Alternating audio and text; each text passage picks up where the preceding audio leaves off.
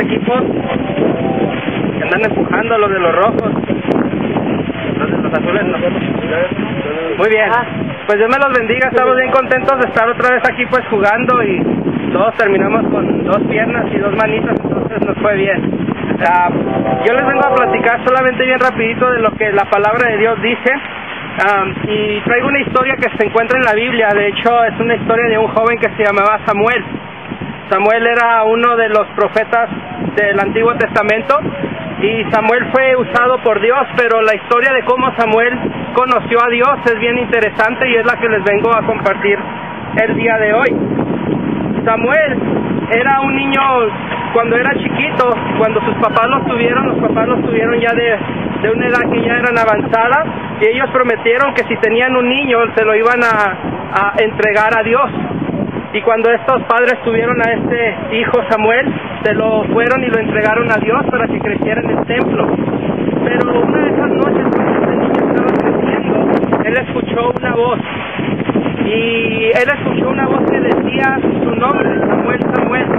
Y Samuel estaba en un cuarto y se levantó y fue a hablar con el, el que estaba allí, que se llamaba Elí, otro de los profetas del Antiguo Testamento, porque pensaba que le había hablado Elí mas no era Elí el que le estaba hablando, le estaba hablando a Dios, precisamente a él. Y esta es una de mis historias favoritas porque yo me relaciono un poquito con ella. Yo no sé dónde te encuentres tú en tu caminar con Dios, yo no sé cuánto tú creas, yo no sé cuál es tu fe, pero lo que sí te puedo decir es que Dios es verdadero. Y yo estoy aquí porque yo sé que Dios es verdadero y esta es la forma, una de las formas como yo le pedí a Dios para saber si en realidad Dios existía. No sé si usted se hizo, si hace preguntas. Yo hago muchas preguntas a Dios y muchas veces me contesta. En una ocasión yo le pregunté a Dios, Señor, yo quiero saber y escuchar tu voz. ¿Alguien le ha hecho esa pregunta a Dios? Yo se la hice. Yo quiero escuchar tu voz. Pero yo le dije, Dios, no quiero escucharla a través de los predicadores, no lo quiero escuchar a través de la Biblia, yo lo quiero escuchar audiblemente. Y por algún tiempo yo estuve preguntándole a Dios, Dios, yo quiero escuchar tu voz, yo, yo sé que tú existes, yo creo en ti, pero para mí sería algo increíble escuchar tu voz. Y por un tiempo que lo pedí, hasta que de repente lo que pasa cuando pides algo se te olvida. ¿Cuántos le han pedido algo a Dios y se te va olvidando lo que pediste? repetidamente, se olvidando lo que le pides a Dios y en veces decimos Dios no contesta cuando a nosotros se nos olvida pedirle a Dios. Bueno, yo por un tiempo le había estado pidiendo a Dios, yo quiero escuchar tu voz audiblemente y una noche mis padres salieron, yo estaba joven todavía, yo estaba en la high school todavía y mis padres salieron de la ciudad y me quedé solito en la casa. Agarré, me fui al cuarto de mis padres, estaba ahí viendo la tele, apagué la tele y ya me iba a acostar cuando en mi voz, yo me llamo Daniel y escuché que alguien dijo mi nombre, Daniel. Entré un miedo, me entró un pánico que es increíble, ese miedo no se lo podría describir, más que lo único que pensé yo hacer y lo único que yo hice es agarrar las cobijas y me las puse sobre mí. Y estaba debajo de las cobijas. ¿Qué está sucediendo? Y dije, nadie sabe, me va a robar, me va a robar, me dijo mi nombre y, y aquí me va a matar. Pero nadie. Empecé a pensar quién puso, quién pudo haber dicho mi nombre. Dije, tal vez me moví en la cama y la nombre y, y la cama de alguna manera dijo mi nombre, Daniel. Y mi mente empezó a maquinar cosas tratando de averiguar por qué yo había escuchado mi nombre y recordé entonces que yo había estado pidiendo escuchar mi- el nombre mío por parte de Dios, pero me entró un miedo. Y ahora yo sé por qué en la Biblia, cuando los ángeles se aparecen, cuando algo celestial se aparece, siempre los ángeles le decían a los pastores o le, decían a José, a María, a quien se le aparecían, siempre le decían, no temáis. Creo que cuando te enfrentas con lo espiritual, con lo sobrenatural, lo, lo que tiene uno es miedo. Entonces después de esto yo le pedí a Dios, Señor, mejor en la otra háblame a través de la Biblia, háblame a través de la palabra, háblame a través de los predicadores, porque en realidad era algo increíble escuchar la voz de Dios. Y Samuel le pasó exactamente lo mismo. Él, ah, aunque no pidió escuchar la voz de Dios, la palabra de Dios dice que Samuel no había conocido a Dios todavía.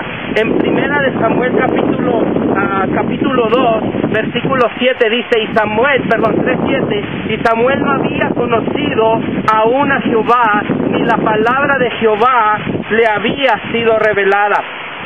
Todos los que están aquí todavía están jóvenes, todavía juegan, todavía tienen mucha vida por delante. Pero Dios te quiere revelar algo, te quiere revelar quién es Él.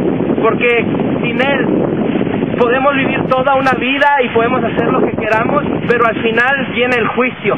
Y eso es lo que no viene, lo que viene en contra de nosotros. Juan 3:16 dice que Dios vino a mandar a su Hijo para morir por nosotros porque Él nos ama. Pero los siguientes versículos 17 y 18, Él dice que Él no vino a condenar al mundo, porque el mundo ya está condenado por el pecado. Tú y yo ya estamos condenados por el pecado, al menos que vengamos a Cristo y le entreguemos nuestra vida. Y muchos decimos, la palabra de Dios dice, acuérdate joven de Jehová en los días de tu juventud. Y muchos dicen, tienes que aceptarlo hoy porque no sabes qué va a pasar mañana. Y yo te vengo a decir, eso es cierto, pero es más cierto que aunque tú sigas viviendo lo que va pasando al alejarte de Dios, tu corazón se hace duro, tu corazón se hace, se va en contra de las cosas de Dios. Vivimos en un mundo donde hay filosofías que le dicen humanismo, secularismo, eh, prácticamente diciendo que Dios no existe y algunas otras filosofías que dicen, si tú eres bueno, tú puedes llegar al cielo, pero Jehová dijo en su palabra que solamente hay un camino Juan 14, 6 dice, Jesucristo dijo, yo soy el camino, la verdad y la vida. Nadie, nadie viene al Padre sino por Él.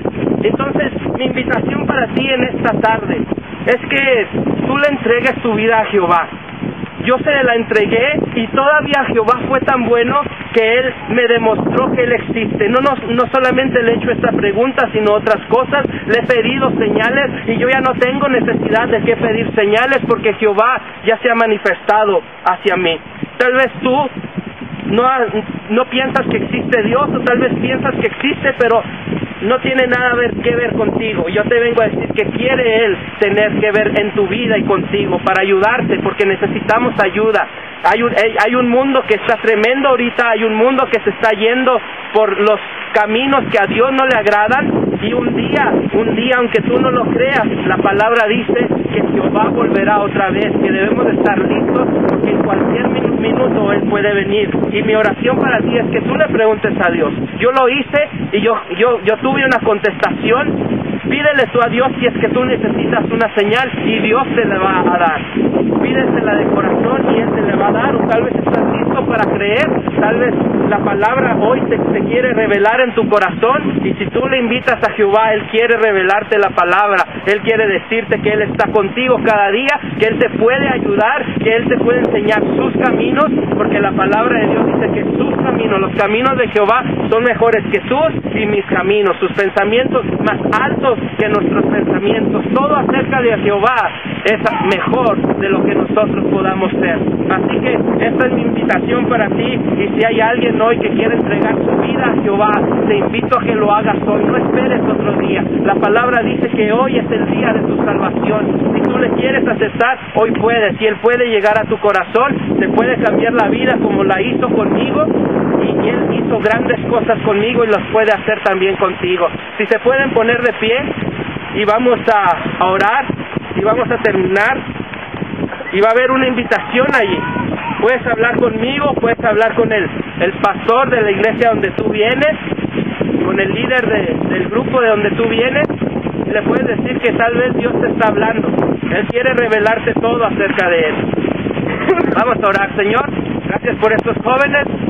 Te doy gracias por su vida, te doy gracias por este ministerio, te doy gracias Señor por los que están detrás, los líderes de cada equipo, los líderes de esta liga, Señor, bendíceles, pero cuida sobre todo las almas, Señor, que todavía no te conocen, las personas, Señor, que todavía están por conocerte, bendíceles, cuídales, Padre Celestial, y está sobre ellos, Señor, oh Señor, revélate como te has revelado conmigo y con muchas personas. Oramos todo esto en el nombre de Cristo Jesús.